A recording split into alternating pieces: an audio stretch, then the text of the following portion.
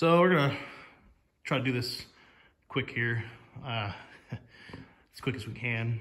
And the other other video ended up being like 22 minutes long or something ridiculous, but this is just a quick uh, kind of explanation of how it can be kind of a pain in the neck to do this uh, scissor truss modification here. So, uh, two foot on center trusses here. We take out these three, that gives us eight foot from that one to that one.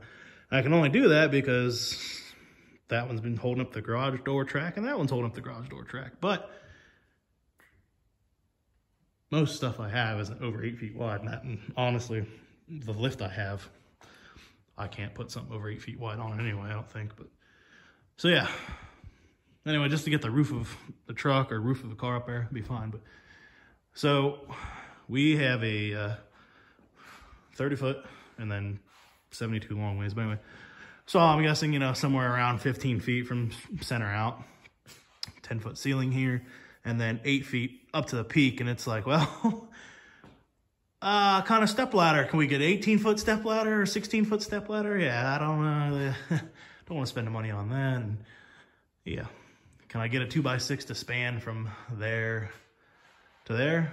Yeah, I get a 20 footer and it's going to be probably every foot of that, every every bit of that 20 footer just as much. So, um, have to take out the uh, insulation blockers. I forget the technical name for those, but uh, take those few out on that end and this end, obviously, and see what we can get going here.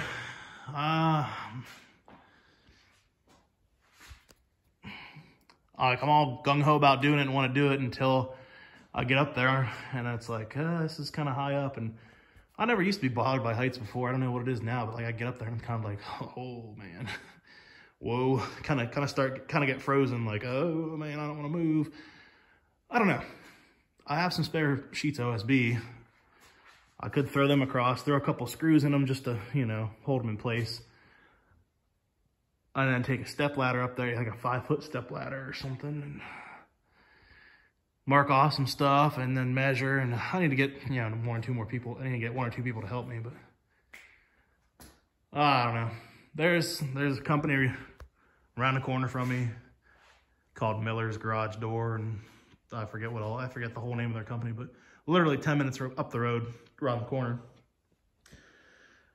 I got a, I got a requisition. I got a request for a quote for them to install garage door openers. Going to do, you know, overhead here, side mount here for the, where the lift is, and then overhead, overhead. Need new door seals and, you know, do tune up, tighten springs, grease the track, whatever, you know. And then I asked them, they, they, they build pole barns, pole buildings, uh, anything. I mean, they, they custom build stuff. They do decks and porches. And so if they're, if they're into building an entire building, I mean, I guess they probably don't design the trusses maybe, I don't know. They probably just say, oh, you want to do this size by this size, and then they figure out what size truss they need, and they probably just buy prefab trusses. I don't know, but yeah, I think it wouldn't be it wouldn't be too bad, but just like I said, I need at least one more person, probably two or three people. I don't know. Me, my brother said he might help. My buddy Josh, my old my neighbor from my old house, he said he'd come help. Uh, I'm sure maybe I get Mike down here over here to help. Who knows? But it's just a monumental task, dude. I don't know. I do not know. Man, that's such a such a span, such a space, but we'll see. We'll see what they come back with if if they can do it. Yeah. Basically, I mean, I don't if they don't do two by six like I'm thinking, just two by six down, or, you know, drop down from the center piece and then do a horizontal tie piece. You know, so vertical down from the peak in between the two by sixes and then horizontal to tie those together, whatever, you know, time to the, yeah, whatever, we'll see. Now I know, you know, we've, there's a, for anyone watching this who isn't up to what's going on, and this is just like a follow-up to a question I posed to another channel, uh, is it Eurosmith? Am I saying your name right? I hope so. I mean, call me out. I don't, I don't, I don't care. I mean, I, I'd assume that's that's how you're saying it, man. But uh, I, I, like how you followed uh, Enigma Engineering. I I saw their thing. I don't know last year sometime. I forget when I first saw them, but I was thinking about reaching out to them, having them try to do some calcs for me, just because I don't want to trudge through all that stuff. And you know, they've done it once. They've got everything set up. It'd be easy just to plug my numbers in for everything. But so if anybody's looking to do some truss redesign, those guys from Enigma Engineering, they had a pretty cool video. You know, like I said, this video I'm posting just to show for Eurosmith, you know. I don't know. Uh, it's pretty high, pretty high.